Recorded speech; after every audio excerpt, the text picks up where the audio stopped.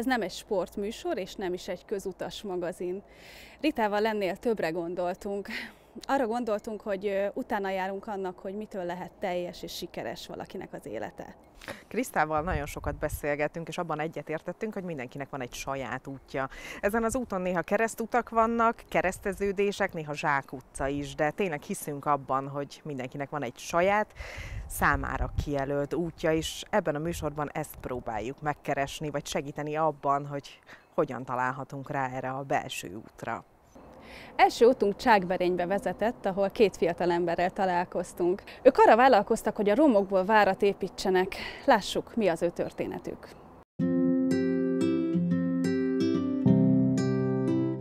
Skoglund Krisztofer és Dobos Tibor négy éve kezdtek el építkezni Csákberényben. A valamikori TS romos épületét, ami az évek során illegális szemét lerakóként is működött, elkezdték szépen lassan átformálni. Megláttak benne valamit. Tibor jogász és szakács, aki 2020-ban kulináris alkotásával elnyerte a Magyarország évétele címet. Christopher pedig gazdasági tanácsadóként dolgozik. Ez pedig egy álom itt, vagyis annak egyik állomása. Sok mindennek lehetne nevezni, ugye mi egy, egy rendezvény központot és egy kulturális teret álmodtunk meg itt a Tiborral, és ugye, ahogy látjátok, itt is most folyamatosan ugye építkezések vannak, főleg ilyenkor, amikor nincs szezon, ilyenkor újulunk meg, illetve e, ilyenkor valósítjuk meg azokat, amiket kitalálunk évközben, úgyhogy folyamatos átalakulások vannak. Ugye itt van mögöttünk a, a nagy termünk, ami egy olyan 180 fő befogadására képes e, nagy terem, most elkezdtünk egy exkluzívabb, kisebb termet, ami inkább így a magánvacsorákra, meg a e, egyéb fajta rendezvényekre lesz kialakítva. Ugye a Tiborék saját konyhával rendelkeznek itt a, e, az udvaron belül, és ugye, ahogy, ahogy meséltük, mi nem vagyunk úgy nyitva folyamatosan ugye a publikumnak, hanem inkább magánrendezvények, illetve előre megbeszélt rendezvényeket szoktunk csinálni. De hát ez ugye folyamatosan bővül a palettánk, ugye, mert ahogy említettük, akarunk foglalkozni ugye a turizmussal is, Eh, ki akarjuk használni, hogy itt van a vértes, rengeteg ember jár erre felé, úgyhogy hogy dolgozunk ezen is, hogy, eh, hogy ezeket a rétegeket is kiszolgáljuk. Állandó építkezés, folyamatos fejlődés. Van, akit utóbbi mélységesen frusztrál. Tibornak és Krisztofernek azonban az építkezés, a befektetett idő és energia jelenti magát a fejlődést. Egyszerűen így érzik jól magukat. Külföldön és Budapesten is laktak, most itt a Vértesben találtak igazi otthonra ez egy gazdátlan épület volt. Igazából senki nem viselte a, a sorsát. A, amikor privatizációra került a sor, sokan, sokan szerették volna megszerezni, de, de nem vigyáztak kellően. Tehát ha emlékeztek rá, akik erre jártak az úton, azok láthatták, hogy itt a tető majdnem beszakadt, több évig állt ilyen megdőlt állapotba. Ez csak azért alakult így, mert a, a felső ablak, tehát a padlás ablak, az nyitva maradt, és azon keresztül ázott a tető, míg, míg a több... évet. Igen, tehát amíg, amíg, amit háborúk nem tudtak tönkretenni, azt egy felelőtlen tető visszacsúkás, vagy nem visszacsúkása okozott, és ezért lett így, ahogy alakult. Mi úgy jöttünk össze, hogy Christopher apukájával dolgoztam én, e, és e, sokat beszélgettünk, Christopher apukájával beszélgettünk sokat, Christopherről én szerettem volna elmondani, hogy kiváló kőfaragó, mert az ő által készített, kezemunkája által készített kézmosó csapok találhatók a, a rendezvényterem mosdójába. Én mindig elmondom, hogy amit ő csinál, az akár évszázadokig fönnáll, amit én csinálok a konyhába az ételek során, azok eltűnnek, tehát van élvezeti értéke, de rövid, rövid életűek. És a Christopher apukája megismert engem, ismerte a Christophert, vagy ismeri a Christophert, és azzal az ötlettel állt elő, egy alkalommal egy, egy éjszaka fölhívott, hogy, hogy ő arra gondolt, hogy, hogy én a Christopherrel dolgozzak, és elmondta miért. Ő nagyon az életében sokkal előre juthatott volna, hogyha lett volna egy olyan társa, az ő hiányosságai, vagy amivel ő nem szeret foglalkozni, lett volna egy kiegyenlítő partnere, és sokkal előrébb tudott volna jutni, és ő ismeri a fiát, vagy hát idézőjelesen ismeri a fiát, és ő úgy gondolja, hogy ha minket összerakna, mi két uh, személyiségünk kiadna egy jó összhangot, és ebből egy nagyon jó közös munka válhatna. Így, így lett az Mint első a találkozó. találkozó. össze lettünk válogatva. Öt, igen, de nem ismertük egymást, tehát a Christopher sem ismert engem, én sem ismertem a Christopher, de gyakorlatilag mondhatnánk azt, hogy a, a szülők, itt ebben az esetben a Christopher édesapja eldöntötte a mi jövőnket, és lett egy házasságunk, és a, a házasságunk első dolga ez a malom lett. De akkor tulajdonképpen már a cél az olyan szempontból ki volt tűzve, hogy együtt dolgoztunk, de Nem. hogy valamin? Vagy Cél, cél, cél, Cél ne- cél cél nem nem volt, volt. még az első évben semmilyen cél volt, még az első év után se ismertük egymást sem ennyire, csak itt dolgoztunk egymás mellett. És hát ugye előbb-utóbb kapcsolatba kerül az ember a munkatársaival, meg kialakít egyfajta barátságot, és mivel csak ketten voltunk, nehéz volt nem egymást megtalálni. De ez a mai napig mi dolgozunk ezen, hogy, hogy tartjuk a távolságot egymástól, amennyire kell, közel vagyunk egymáshoz, amennyire kell, de ahogy említetted, hogy itt a, a tervek akkor megvoltak, semmilyen terv nem volt meg, de még majdnem azt merném mondani, hogy mai napig sincs meg minden terv, mert ez folyamatosan változik. Ahogy mi is változunk, a világ változik, az igények változnak, mi jó dolgot szeretnénk csinálni, és ez úgy kirajzolódott már az elején szerintem, és a múltunkból hoztunk jó és rossz dolgokat, és azokat gyűrtük össze, és így valahogy ki tudjuk egészíteni egymást. Nem az, hogy a Tibor nem tudná megcsinálni az én munkámat, vagy fordítva, hanem kisegítjük egymást. Szóval van, amikor nekem nincs kedvem valamit megcsinálni, vagy nagyon húzom a lábamat, hogy ezt nem, nem fogom megcsinálni, akkor a Tibor azt most már észreveszi, vagy fordítva is, és akkor néha nem, valahogy Igen, én igen. így jellemezném, hogy egy ilyen váltófutásban vagyunk, főleg ilyenkor, amikor nincs szezon, meg amikor most így építkezünk, hogy egy ilyen váltófutásban dolgozunk, eh, ami jobb napokon, mint például ma, akkor együtt dolgozunk, és akkor mindig visszatérünk arra a négy-öt évvel ezelőtti eh, stádiumba, amikor a legkoszosabbak vagyunk, és, és valóban betonozunk, ásunk, eh, építkezünk, mert ugye a tervezés fázisa az, az, az folyamatos, szóval még biztos vagyok benne, hogy ma este, innen, vagy ma hazamegyünk innen délután, és este 8-kor, 9-kor telefonban fogunk beszélgetni arról, hogy mit kellett volna csinálni máshogy, vagy, vagy hogy milyen tervek lesz, és folyamatosan dobáljuk egymásra az ötleteket, és ugye ehhez kellett inkább az idő, hogy nyitottabbak legyünk egymásnak az ötleteire, hogy, hogy észrevegyük, hogy a valakinek fontos, a Tibornak fontos valamelyik része, akkor ugye én is fel tudom most már áldozni a saját eh, elképzelésem, vagy összegyűrjük, gyúrjuk eh, egy idő után.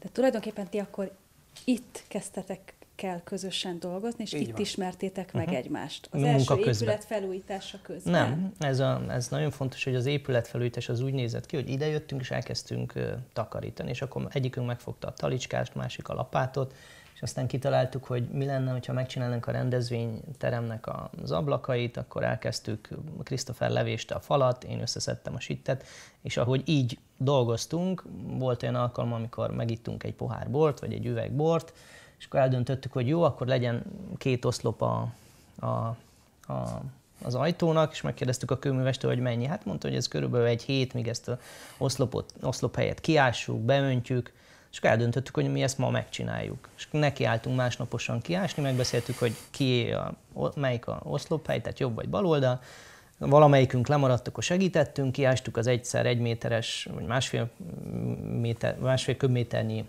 földet, azt aznap bebetonoztuk, és mondtuk a kőművesnek, hogy akkor most már lehet rakni az oszlopot, és készen van a, az alap, és akkor nézett nagyon.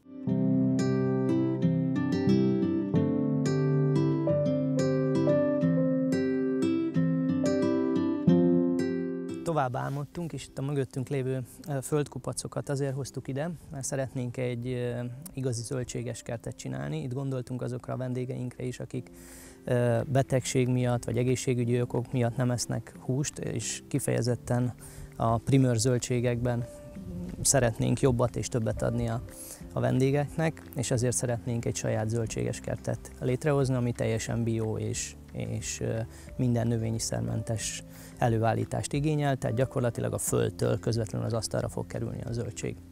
Más egy ilyen zöldségből főzni is, nem? Teljesen más a, a zöldség, sokan nem fognak ráismerni, hogy milyen ételt tesznek, mert az íze, ízében nincsen e, semmilyen vegyszer, nem vízhatást fognak e, érezni, hanem gyakorlatilag újból meg kell tanul, tanítani az embereket arra, hogy milyen egy-egy zöldségnek a, az alapíze.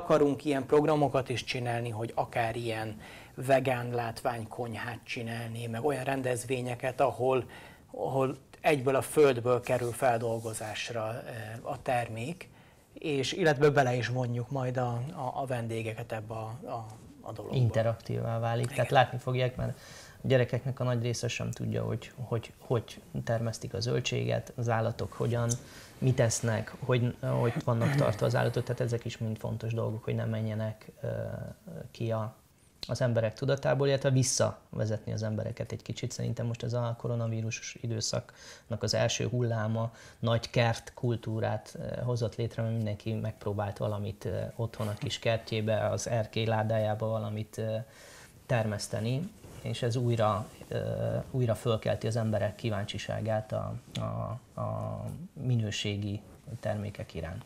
Hát mi is ilyen környezetudatosság jegyében is próbálunk ugye nem csak a minőség miatt, hanem hogy amit lehet, azt helyben, de a munkaerőtől kezdve az építőanyagot is e, helyből szerezzük. Lemegyünk a bányába, és onnan hozunk követ, és abból építkezünk, vagy bontott téglával. Szóval majdnem minden, amit itt felhasználtunk, az, az mind bontott anyag.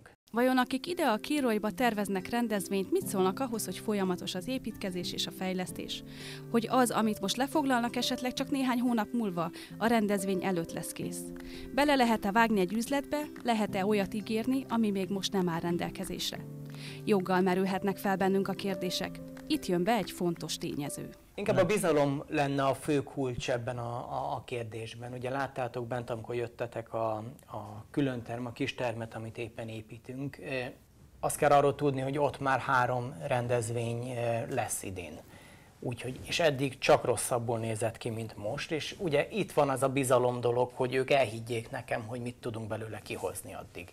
És ilyenkor ugye magunknak tesszük fel a lécet nagyon-nagyon magasra, mert ilyenkor ugye nekik, nem csak saját magunknak, hanem nekik is kell bizonyítanunk, hogy sokkal jobbat csinálunk annál, mint amit ígértünk, és ez nekünk ugye a, a mindennapi kihívás, vagyis emiatt kell fel az ember reggel, hogy, hogy tudjuk, hogy hajtani kell, hogy oda jussunk.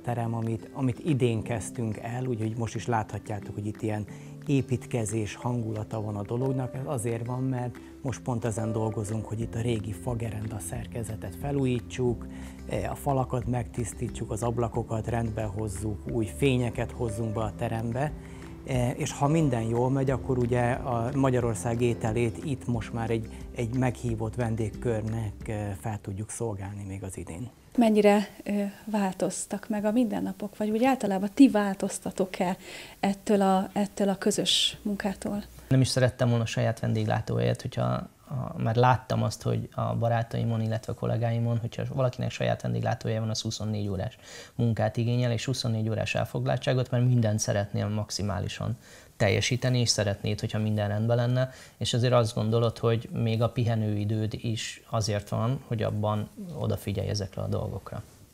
Tehát ez egy, ezért, ezért ez a negatív része, úgy idézőjelesen.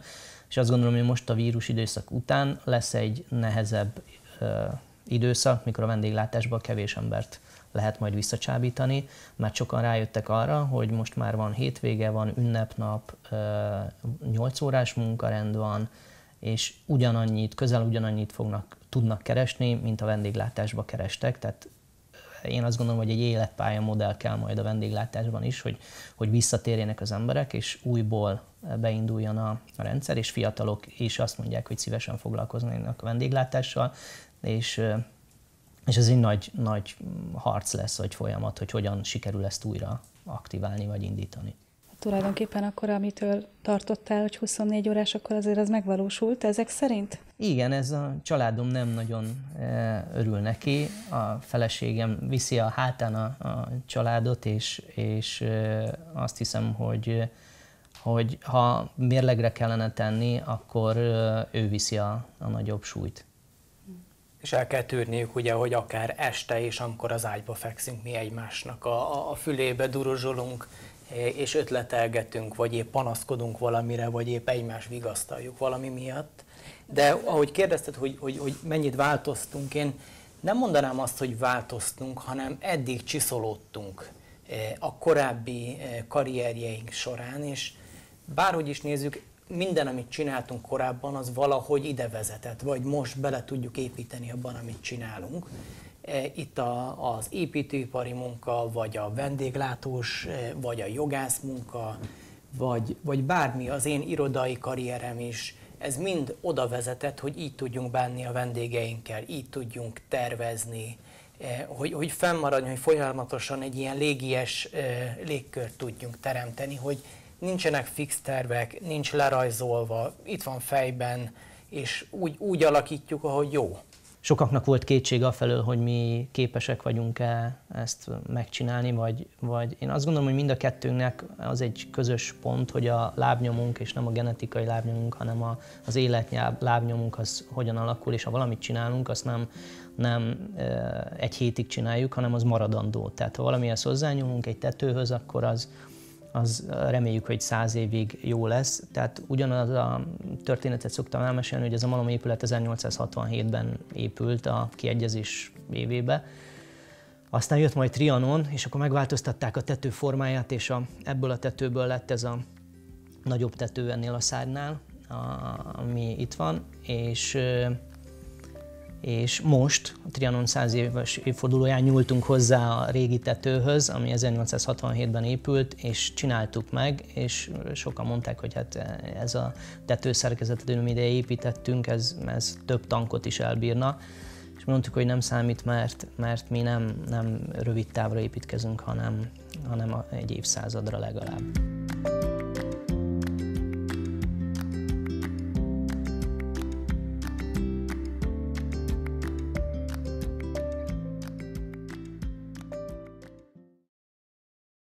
Krisztofer és Tibor saját maga döntött úgy, hogy a változás útjára lép. Van, amikor azonban külső tényezők kényszerítik ki azt, hogy változásra van szükségünk, és ezt lelkileg sokkal nehezebb megélni. Balog Éva kócs azonban most segít nekünk abban, hogy hogyan tudjuk átvészelni jól ezt az időszakot. Egy nap a paraszt szamara beleesett a kútba, az állat órákon át szánalmasan bőgött, miközben a paraszt megpróbálta kitalálni, hogy mit is tehetne. Végül úgy döntött, hogy az állat már öreg, és a kutat amúgy is be kell temetni, nem éri meg kihúzni az öreg szamarat, áthívta a szomszédait is, hogy segítsenek neki. Mindegyik lapátot fogott, és elkezdtek földet hányni a kútba. A szamár megértette, hogy mi történik vele, és rémisztően üvölteni kezdett, majd nem sokára elcsendesedett. Kis idő elteltével a paraszt lenézett a kútba, és meglepetten látta, hogy a szamár él, és minden lapátnyi föld után valami csodálatosat művel. Hogy mi ez a csoda, azt Balog Éva fogja elmondani nekünk, aki egyébként kócsként dolgozik. Szóval mi ez a csoda, amivel tudott élni ez a szamár? Az a csoda, amit mi emberek általában hajlamosak vagyunk elfelejteni, hogy tulajdonképpen mindig csak egy lépést kell előre tenni. Nem feltétlenül a, a, arra kell koncentrálni, ami a legnehezebb változás az életünkben, hanem mindig csak egy lépést kell tenni előre, és ez a szamár sem csinált mást, hanem mindig lépett egyet előre, ráállt belehányt földre, és a végén csodálatosan elsétált ki lépett a kódból teljesen éppen egészségesen. Egész életünkben úton vagyunk, de nem biztos, hogy mindig észreveszik, hogy változásra van szükségünk. Mikor érdemes kilépni a komfortzónánkból? Nagyon jó, hogy a komfortzóna szót említed, mert hogy a változás az arról szól, hogy ki kell lépnünk a komfortzónánkból. Van, amikor mi magunk szeretnénk kilépni, és van az, amikor kényszerítenek rá külső körülmények, tehát amikor muszáj kilépnünk. Hát az első, amikor mi magunk szeretnénk, azt én úgy szoktam hívni, hogy ez a jó stressz időszak. Tehát amikor azt érezzük, hogy egy picit jó lenne, jó lenne változtatni, jó lenne valami többet, valami szebbet, valami, valami boldogabbat létrehozni, ez a a jó stressz időszaka, ilyenkor magunktól érezzük azt, hogy érdemes lenne megújulni és lépni egyet előre, ahogy a már. Hát ettől függetlenül az életünkben azért gyakrabbak azok a változások, amit nem mi magunk kezdeményezünk, tehát amit külső körülmények okoznak. Itt van mindjárt ez a mostani szerencsétlen Covid helyzet, hát ezt ugye egyikünk sem kívánta, lassan egy éve, hogy ebben élünk, de igazából még talán még mindig nem vagyunk túl azon a változáson, amit egy külső körülmény generált.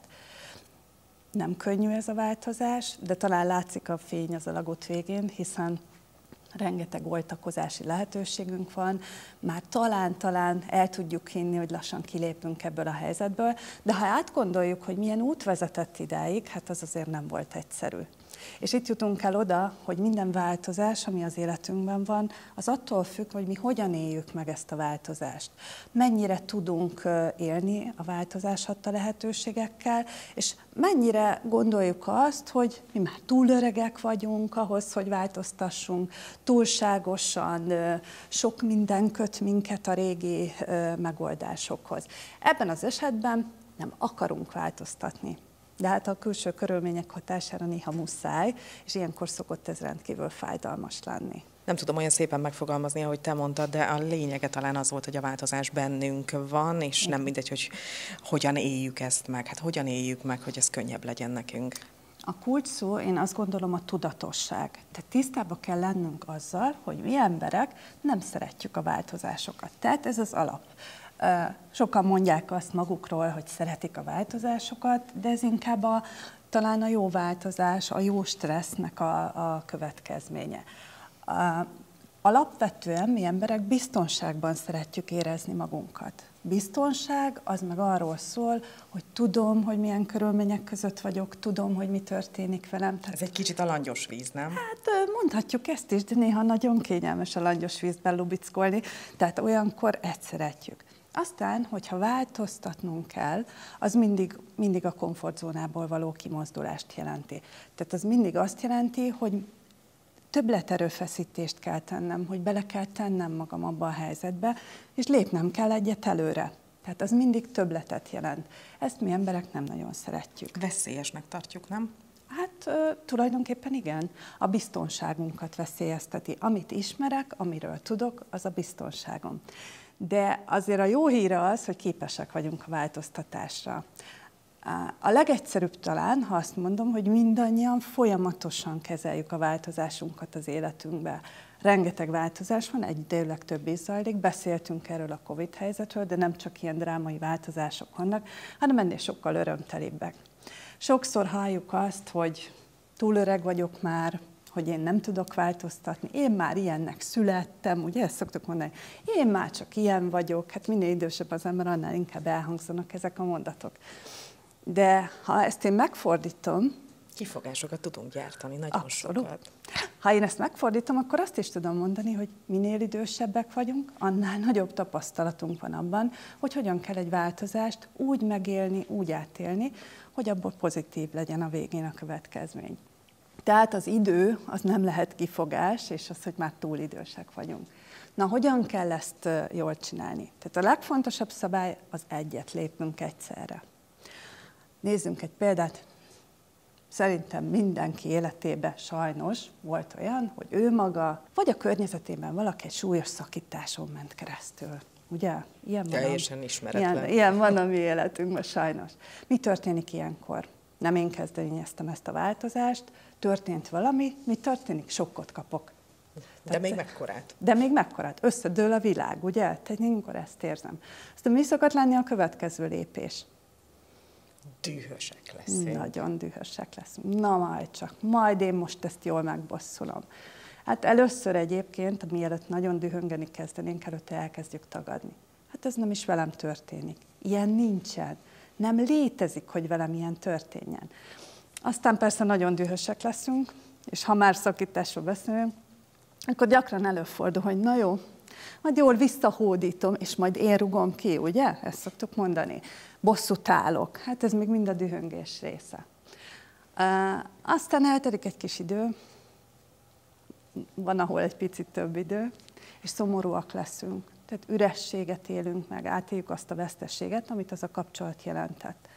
Aztán, ha ezen is túl vagyunk, akkor elérjük talán a mélypontot, amikor beletörődünk abba, hogy jó, ez most nem jött össze. De még mindig nem tudunk arra fókuszálni, hogy mi lesz a jövőben. Majd aztán megtörténik a csoda, rászálljuk magunkat a randizásra, és eljön a következő nagy ő az életünkbe, és ilyenkor pedig azt gondoljuk, hogy hú, hát tulajdonképpen nagyon fájdalmas volt, nagyon rossz volt, de hát mégiscsak jó, hogy megtörtént, hiszen őt meg sem ismertem volna, hogyha ez nem történik meg.